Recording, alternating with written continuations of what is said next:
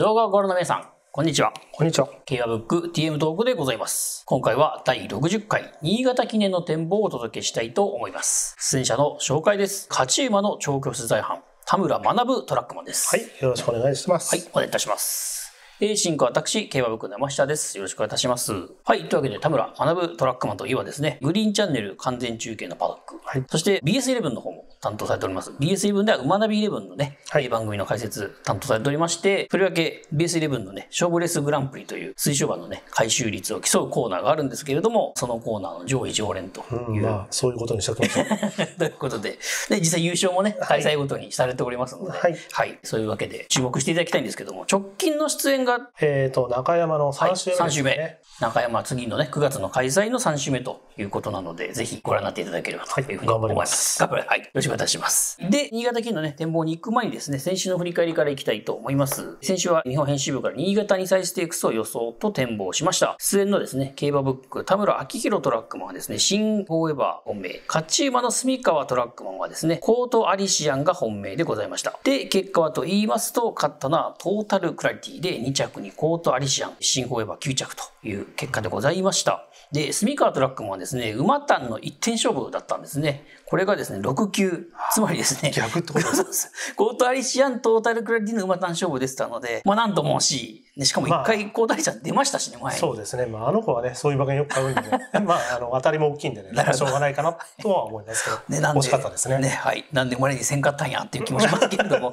まあ、残念ながら不的中でございました。で、まあ、それはさておきですね、今年も新潟2歳ステークス、賞レース豊かな、まあ、そういった印象ありましたんでね、上位馬はもちろんですね、出走全場の動向をチェックしたいかなというふうにも思います。以上、新潟2歳ステークスの振り返りでございました。ここからは新潟記念のお話になります。えーいつものようにですね、競馬ブック当日版のカット、レース単表でございますけれども、こちらがですね、軽量注意というのが入っております。またですね、いつものようにコース紹介申し上げますと、新潟芝外回りですね、2000メートルは向こう正面が948メートルもあり、スローになりがちだが、直線も659メートル、まさに追い比べになるというポイントになっておりまして、近年、関谷記念がね、結構前有利になってきてるところあるんですけれども、この新潟記念に関しましてはですね、もうバンバン外出しが決まるという、前にいる馬が、えっと、4番手以内だったかな、先行4番手以内の馬たちがほとんど来ないっていう、結構珍しいぐらいのそうですね。なんか最終種の馬場にしては、スローの良いのになりがちなんだけど、うんはいはい刺してくる馬が来るっていう、そうなんですよそういう特徴があるレースですね。今回もおそらく直線のね、うん切れ味勝負になるんじゃないかなと思います。というわけで、その田村トラックマンの予想の方、早速発表していきたいと思います。本命が7番のセレシオン、対抗が9番のキングズパレス、3番手が2番のライトバック、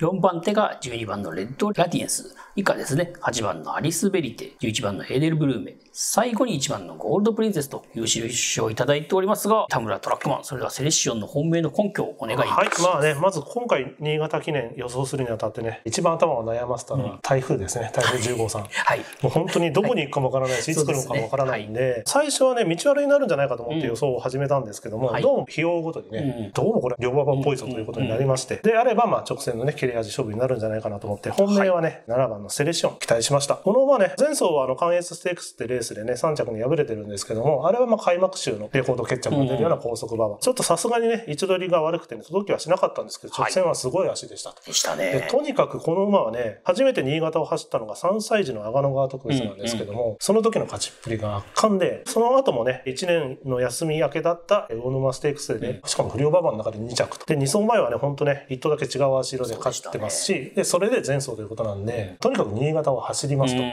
うんで、それを踏まえた上で、3走前が中山の湾岸ステークスというレースなんですけども、このレースね、赤灰の2着なんですけど、レースの形としてはね、勝った、えーリフレーミング、これが、えー後に国内記念を勝つんですが、完璧にこう、目標にされる形ね、強い2着だったと思います。で、その時一緒に走ったキングズパレスにはね、先着してますし、キングズパレスは新潟大商店七夕スの2着馬。のね、重賞レベルの力があることは証明済みなんでね、それでいて今回はね、得意の舞台になりますし、ハンデ戦になりますと。で、以前はね、本当持たれたりね、うるさかったりとしてね、レースで集中できなかったことはあったんですけど、最近はね、そういうところを見せずにね、本当気正面で成長してきた感じがありますんでね、そういうタイミングでね、この絶好の舞台でハンデ戦の重賞、叩きに2戦目とね、夏場でも状態の方フレッシュなんでね、ここはもう大チャンスなんじゃないかなというふうに思います。前走ちょっと曲げちゃったところもあって、なんかでしょうね、人気的にも美味しいかなというそうなんですよね。僕個人としてはもう、あはいはい、本命ですっていう始まり、新潟ここだなっていう、ここしかないなっていうふうに始まったんですけども、ちょっと強い馬だったりね、人気になりそうな馬がいるんで、単勝でも十分に、そうですね。はい、見よう見のある配当があると思いますしね。はい。本当はね、この馬ね、あの、ちょっと、本当頭の高いフォームっていうのが特徴的な馬で、個人的に道悪は鬼だろうというか、道悪になったら、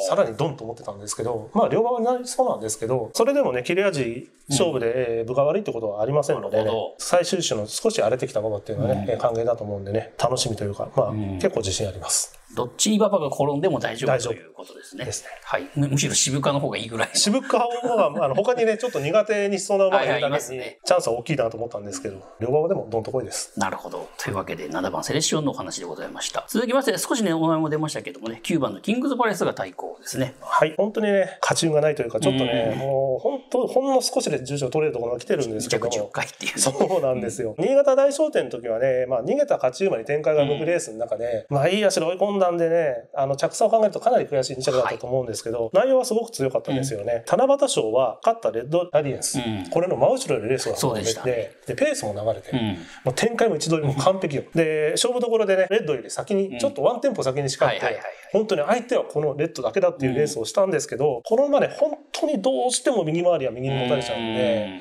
そこでね、反応が遅れてね、振り切られてしまったというレース内容ではあったんですけども、これがね、この馬の個性なんうで、ん。まあ、なくなってしまうと少し寂しいところもありますし、はいまあ、それにしてもやっぱり歯がゆいなって悔しいだろうなっていうふうにあります。でも、それを考えると、左回りのコースではこのまま持たれませんので、まっすぐに伸びてきますんで、条件がね、えー新潟に変われば、レッドラリエンスはね、今回58.5キロっていう感じなんで、七夕賞の時は同金利だったんですよ。同金1.5キロに差がつきますんでね。で、コースが変わることを考えれば、これはまず逆転は可能だろうと。本当ね、中間もね、松岡ジョッキー、まあ、いつものことですけど、つきっきりでね、うんえー本当にいい調整過程で稽古積んでるんですよね。で、暑さにも負けずに、はいはいはい体の張りがいいですし、直前追い切りもね、うん本当スムーズに手前を変えてね、シャープに伸びてね、絶好の雰囲気でレースを迎えられますんで、本当あとは勝ち運だけだなっていう感じですかね。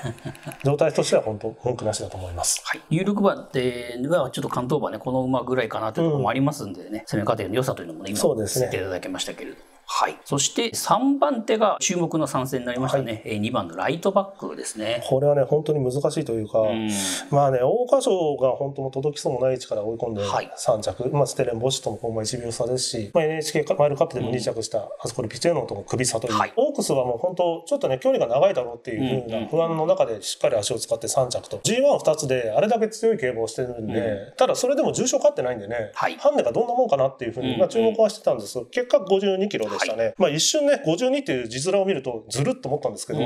まあでも、あの、このレース、あの、3歳馬の出走自体はそんなに多くないですけど、ね。勝ってる馬は2頭はい。ブラストワンピースも昨年のノッキングポイント。ポイントも54キロ、僕ははい。はいはい54キロだったんで、まあそれを考えると妥当かなというふうには感じますけど、となれば当然勝ち負けになってくるだろうなという思うんですよ。超スローペースのデビュー戦でね、うん直線機を決めた舞台なので、コースに対する不安っていうのもありませんから、まあ距離もぴったしでしょうしね。まああとはね、こういう気象の馬なんで、久々のね、実戦レースして、まああのレース迎えた時に入れ込んでしまわないかって不安はあるんですけども、平常心で臨めれば、まああっさり語りでも仕方がないかなというふうには感じます。で、こういう馬は本当はね、日本の馬だったら、はい普段のね、角馬場歩いてる姿だったりっていう、そういうテンションなんかね、見たいんですけど、まあ、リトの馬なんでね、うん。まあそれは叶いませんけど、まあ映像を見る限りではね、動きも体つきも良かったので力を出せるような仕上がりかなというふうになります。まあ、なんですよ、ここはね、本当この馬参戦してくれたおかげでね、うん。まあ、どんなレースをするかっていうのも楽しみな注目度が上がったと思いますね。そして、七夕賞勝ち馬ですね。12番のレッドラディエンスが4番手ですね。もう本当に昔からね、えー安定して力を出せてたんですけど、最近はね、本当本格化うん本当強くなったなっていうレースぶり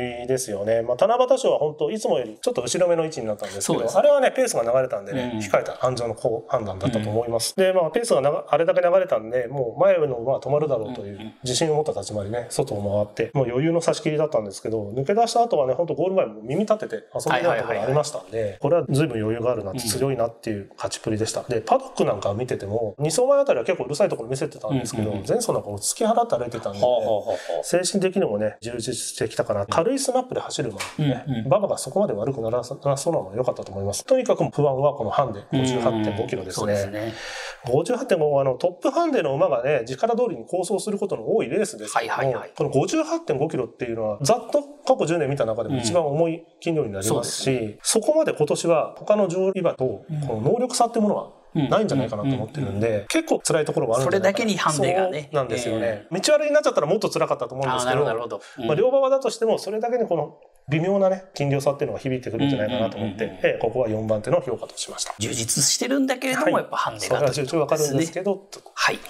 バツの一番手なんですけども、8番のアリスベリテですかね。これはね、短期でいけるだろうと。うん。まあ、先ほどあの2ゲームは前に組むはそんなにはいはい。残らないっていう話でしたけども、前走はね、あの、まあ、その2走前がとんでもないペースで逃げてうん押し切っちゃった馬なんはで、前走50キロの軽量でね、あの、行くと思われたもう一頭の馬が引いてくれたんで、はいはいはい。楽に短期取れましたし、先行有利の馬場だったことも考えて、それを考えれば粘れて当然ではあるんですけども、やっぱ自分の形だったら強いなっていうのがあるんでね、この小頭数気分よくいけたらね、うん残り目もあるんじゃないかと思って、まあ一応相手には引いておきたかなと思います。はい。ね、この柴田ジョッキーのね、中田救急車所属だったかな。うんだから、この指定外もちょっと注目かなという気もいたします。で、秋は、えっと、ブリーダーズカップかな、にも参戦予定ということなんで。あとやっぱり若者なんでね、思い切って、思い切ったレース思い切ったレースですね。はい。まずの2番手、これが11番のエーデル・ブルーメイですかね。うんはい。これはね、まあ本当あの、川田ジョッキーがね、手の内に入れてるなって感じがありますしはいはいはい。はい、まあ本当両側でこそっていうタイプのものなんで、うん。まあ天気がそこまで悪くなかったのは良かったかなと思います。ただね、軽量でね、展開一つというか足の使いどころ一つではね、うん。えー勝ち負け絡んでくる力はあると思うんですけど、個人的にはやっぱり内回り向きかなっていう感じがありますんで、あんまりこう長い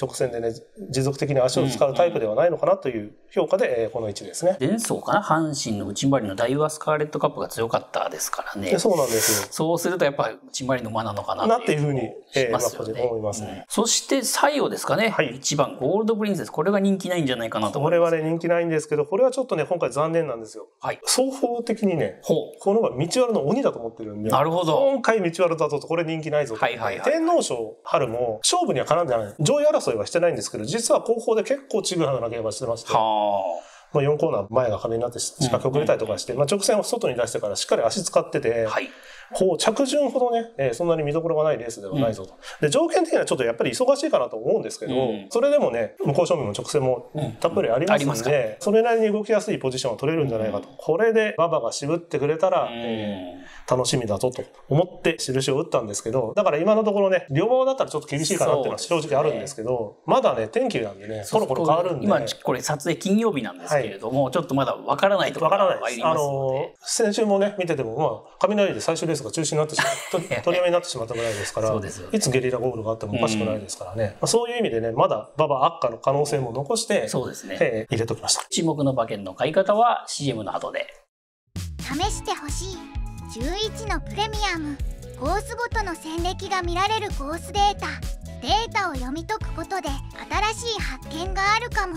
知りたいがすぐわかる。競馬ブックスマートプレミアム馬券の方はどう買いましょうか？はい、えーまずはね、十分に単勝でも楽しめるオープン楽しめると思いますで、えーはいセレシオンの単勝を買うのと、で、生まれんは割と絞って、キングズパレス、ライトバック、はい。そしてレッドラディエンス。この3頭を厚めに生まれんを買おうかなと思います。なるほど、なるほど。はい。そして最後に、先ほど言いましたけども、馬場悪化の期待も込めまして、これはね、配当がね、十分にワイドでも楽しめるのそうですねゴールドプリンセスとのワイドをワイド一点はい買って楽しもうかこれはなと思います。いいですね、だいぶ。17のワイドです。そうですね、はいだいぶいいですね。だいぶ、だいぶいいと思います、だこれは。はい。これ声出ちゃいますね、直線。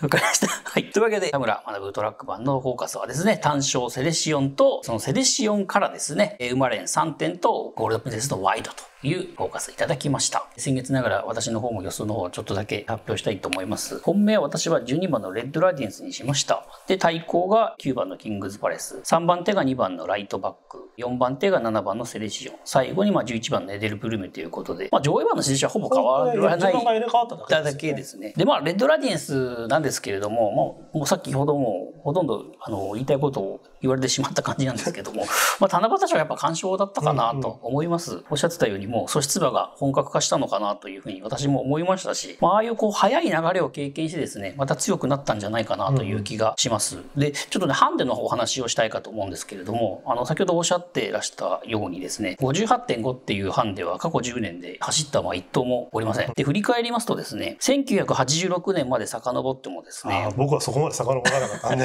58.5以上で走走った馬というのは延べ3頭しかおりませんで、近いところでは2002年のアメリカンボスが7着、まあ有馬記念でね、大穴開けた馬ですけれども、うんうん、有馬記念の走った翌年ですね、7着で58.5で走ってます。さらにですね、ダイワテキサスという馬がおりまして、ダイワテキサスがですね、2000年と2001年にですね、ともにこれ59キロで走ってるんですね。で、1着4着ということで、まあならば58.5は許容できるのかなというふうに私は思いましたし、まあ先ほどもちょっとあのお話ありましたけど、あのトップハンデの馬がね、結構頑張るレースでもありますんで、ならばね、嫌われるんであれば、この馬からちょっと行ってみるというのも一つ手かなと。そうですね。まあ、それほどの筋量を背負って走った馬自体が多くないですし、そうそうそうなんですよ。まあ、それほど背負わされるってことは、その時点でのね、強さもハンディキャップそうですね。評価してるわけですから。評価したということですね。あると思います。はい。というわけで、馬券の買い方はですね、このレッドラディエンスを軸とした、えー、3連単1等軸マルチを先ほどの印4等に流すということで、まあ、36点ですかね、買ってみたいかなというふうに思います。というわけで、新潟記念展望してきたんですけれども、先ほども言いましたけど、ちょっと金曜日で今撮影してるんですが、台風の状況というのがちょっと全く